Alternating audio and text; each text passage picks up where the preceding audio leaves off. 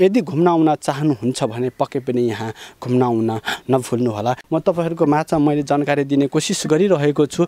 यो भित्र विभिन्न रमाइलो रमाइलो कुराहरू कसरी निर्माण हुँदैछ भन्ने खालका कुराहरू तपाईँहरूको माझमा हामीले देखाउने कोसिस गरिरहेका छौँ। तपाईँहरूले हेर्न सक्नुहुनेछ यसमा टिकट काउन्टरदेखि लिएर विभिन्न बोर्ड बिरुवाहरू लगाइएको छ। एकदमै रमाइलो चाहिँ यदि तपाईँहरूलाई घुम्न आउन चाहनुहुन्छ भने पक्कै पनि घुम्न आउन नभुल्नुहोला। तपाईँहरूको माझमा हामीले जानकारी दिने कोसिस गरिरहेका छौँ। एक सौ आठवटा पिपलको बोटहरू रोप्नु भएको छ। यो भित्र रहेका विभिन्न सबै ठाउँहरूको बारेमा तपाईँहरूको माझमा हामीले जानकारी पक्कै पनि दिनेछौँ। यो भिडियोलाई हेर्दै गर्नुहोला। यो सिन तपाईँहरूको माझमा किन देखाउने कोसिस गरिरहेको छु भने नलफ्रासी जिल्लाको एउटै मात्र त्यस्तो ठाउँ जुन निकै रमाइलो ठाउँ छ जुन यसमा चाहिँ पोखराको फेवातालमा जस्तै गरेर बनाउने कोसिस गरिराख्नु भएको छ। यहाँका विभिन्न व्यक्तिहरूको सहयोगबाट यसमा चाहिँ पोखराको फेवाताल जस्तै छेउछेउमा पानीहरू लगाएर अनि बिचमा चाहिँ मन्दिर बनाउने कोसिस गरिराख्नु भएको छ। यसको बारेमा म तपाईँहरूको माझ मैले जानकारी दिने कोसिस गरिरहेको छु। एकैछिनपछि हामी त्यसको बारेमा पनि थोरै रिपोर्टिङ लिने कोसिस गर्छौँ। यो पहिला यसमा एउटा ताल थियो जुन नाम थियो पोखरी ताल भनेर चिन्ने गरिन्थ्यो। हामी सानो हुँदाखेरि यहाँ चाहिँ पानी थियो यसमा। पछिको समयमा विभिन्न व्यक्तिहरूले गर्दाखेरि यसमा चाहिँ पर्यटकीय स्थल बनाउनु पर्छ भनेर चाहिँ निर्माण गर्ने कोसिस गर्यो जुन यो ताललाई थोरै मात्रामा भए पनि ठुलो बनाउने कोसिस गर्यो। जब यो खनिसकेपछि बल्ल मात्र त्यो ताल चाहिँ सुकेको थियो। यसको बारेमा मैले थोरै जानकारी दिएँ तपाईँहरूको माझमा। यो ताल कसरी निर्माण हुँदैछ भन्ने खालका कुराहरू तपाईँहरूको माझमा मैले जानकारी दिइराखेको छु। जुन यो ताल तपाईँले हेर्न सक्नुहुन्छ अहिले सुक्खा छ तर पनि तपाईँले यहाँ थोरै जुमिट गरेर देखाउनु होला यसमा चाहिँ नेपालको सबैभन्दा प्रसिद्ध र चर्चामा आएको फेवा तालको जस्तै बनाउनका लागि यहाँका विभिन्न व्यक्तिहरूले कोसिस गरिराख्नु भएको छ। यो वरिपरि पानी राखेर त्यो बिचमा चाहिँ मन्दिर निर्माण हुँदैछ। र फेरि यसमा चाहिँ विभिन्न बोटिङहरू सुरुवात हुन्छ। यो ताल निर्माण निर्माण भइसकेपछि। तपाईँहरूको माझ मैले यो यसको बारेमा जानकारी दिइरहँदा मैले चाहिँ यहाँ थोरै वन तथा पर्यावरण गणको बारेमा म थोरै जानकारी दिने कोसिस गरिराखेको छु। एक एक्ज्याक्टली मलाई चाहिँ नाम थाहा भएन तर पनि यसको एउटा आर्मी क्याम्प भनेर मैले तपाईँहरूको माझमा नर्मल रूपमा जानकारी दिने कोसिस गरिरहेको छु। यो उत्तरी साइडमा चाहिँ तपाईँहरूले हेर्न सक्नुहुनेछ। सानो सानो घरहरू योभन्दा पहिला चाहिँ यस परिवर्तन ब्रिकेट माओवादी एउटा चाहिँ जनयुद्धकालीनको समयमा निर्माण गरिएको विभिन्न घरहरू थियो। जनमुक्ति सेनाहरू आउनुभएको थियो जुन लडाइँ भइसकेपछि सेना समायोजन हुनुभन्दा अगाडिको समयमा यही ठाउँमा आएर बसेका थिए। अहिले चाहिँ यहाँ आर्मीहरू आएर बस्नुभएको छ। यो ठाउँमा आएर थोरै रिपोर्टिङ लिनुको कारण एउटा के कारण हो भने यो हाम्रो ठाउँ हो र फेरि यो निर्माण गर्दै गरेको काम हो र फेरि यो एकदमै राम्रो काम हो।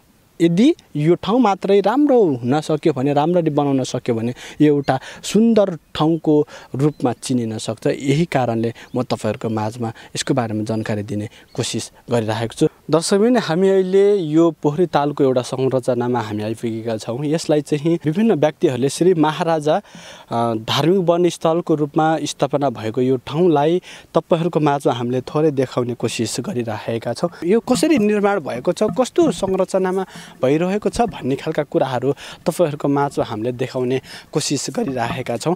भोलिको समयमा तपाईँहरू आउनुभयो भने पक्कै पनि यसमा आएर घुम्न भन्न नभुल्नुहोला। उतापट्टिको थोरै म तपाईँहरूको माझमा हामीले देखाउन सकेनौँ तर पनि त्यहाँ बुद्धको मूर्ति लगाए हिन्दूदेखि लिएर विभिन्न चाहिँ धर्महरूको चाहिँ मूर्तिहरू बनाएको छ र तपाईँहरूलाई हामीले थोरै जानकारी दिने कोसिस गरिरहेको छौँ। एउटा पार्क जस्तो बनाइएको छ र अर्को कुरो त्यहाँ थोरै म जानकारी दिन चाहन्छु विभिन्न स्थानीयहरूसँग बुझिरहँदा पिकनिक स्थल नै निर्माण गरेको छ। एकदमै राम्रो ठाउँ छ। यहाँ विभिन्न ठाउँहरूमा धारा पनि निर्माण गरिएको रहेछ। मैले तपाईँहरूको माझमा यसको बारेमा जानकारी दिने कोसिस गरिराखेको छु। तपाईँहरूको माझमा मैले यहाँ देखाउने कोसिस गरिराखेको छु। धार्मिक वनस्थलको रूपमा दर्ता भएको कारणले गर्दा यो यसरी निर्माण गरिएको छ। यदि तपाईँ देशदेखि विदेशसम्म विभिन्न ठाउँहरूमा घुमिराख्नु भएको छ भने नेपालको यो ठाउँलाई पनि घुम्नुपर्छ भन्ने म तपाईँहरूको माझमा मैले जानकारी दिन चाहेँ। विभिन्न चाहिँ बोट बिरुवाहरू रोप्नु भएको छ। उतापट्टि तपाईँहरूले अर्को अर्को खालको बोट बिरुवाहरू राखेको छ। यसमा चाहिँ एक्ज्याक्टली नाम चाहिँ मलाई थाहा भएन कुनै फलफुलहरूको र त्यसपछि अरू अरू घाँसदेखि लिएर विभिन्न बोट बिरुवाहरू रोप्नु भएको छ। एकदमै रमाइलो ठाउँ छ तपाईँहरू। यो ठाउँमा आउँदाखेरि पक्कै पनि घुम्न आउनु पर्ने हुन्छ। धार्मिक वन तथा पिकनिक स्थलको रूपमा तपाईँहरूले पनि चिन्न सक्नुहुनेछ।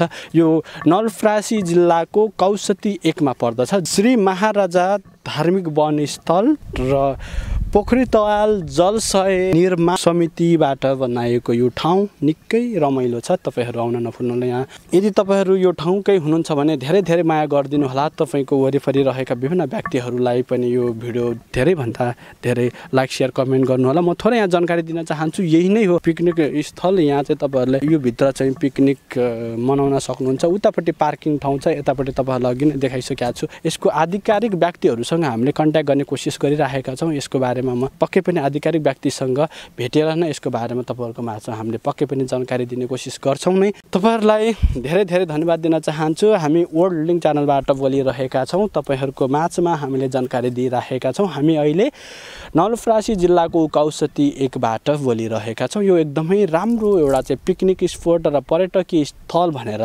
हामीले तपाईँहरूको माझमा जानकारी दिने कोसिस गरिरहेको छु। धेरै धेरै धन्यवाद दिन चाहन्छु। सम्पूर्णलाई नमस्ते।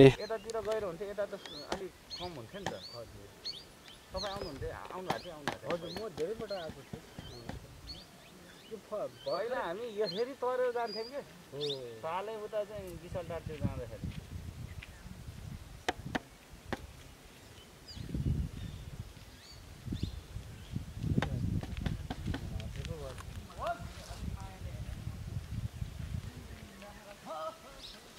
टिकटक बनाउनु भाइहरूले पनि भिडियो बनाउँछ कि?